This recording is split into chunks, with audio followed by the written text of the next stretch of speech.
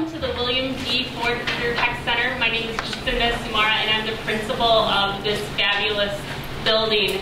Um, today we're here to celebrate career readiness.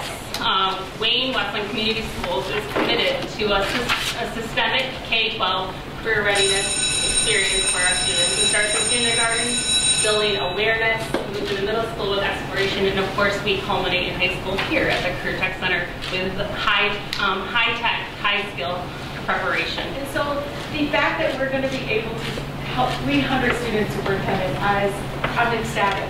Uh, these are going to be people that I'm hoping comes back and is the head of teacher, you know, our public works in Westland, or is out there helping um, um, my mayor West, uh, of Wayne with the amphitheater, uh, you know, rehab and development.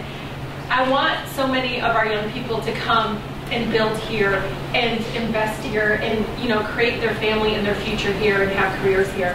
And this is how we do it. And so um, I'm going to ask um, uh, Greg if you can come up, superintendent.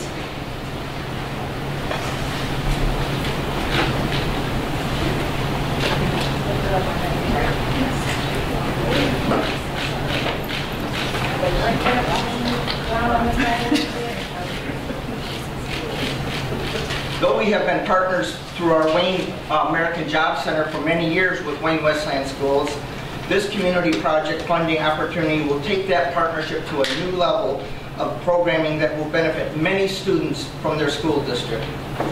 This is made possible only because of the extraordinary foresight and efforts of the Congresswoman Rashida Tlaib. The Congresswoman brought Wayne Westland Schools and SEMCA to the table to encourage us to think big and to create an intensive career learning opportunity for the students. John Dignan deserves much of the credit as the leader and visionary for what inspired the design for this project, and his enthusiasm was motivating to all of us. Making sure everything comes together. The Wayne Westland team has been phenomenal, as well as SEMCA. I'd like to thank Mayor Rhaesa. I'd like to thank uh, Mayor Wild, President Cox, and Trustee uh, for the support of our school board, because without you, this wouldn't have even materialized. The biggest thing is, is doing what's best for our kids. And part of that's building relationships with the business community, skilled trades, to provide opportunity, advance equity, and promote student success. One of the big things is, is, we have a hole in skilled trades right now. We've been talking to a lot of unions and a lot of the skilled trades training centers. What we want to do is expose our kids. Congresswoman Tlaib pushed this through. Like I wasn't sure where it was going to go. Her, Larissa, where's Larissa at? Thank you. Because again, just communication to push this forward. Our kids need to experience and touch things.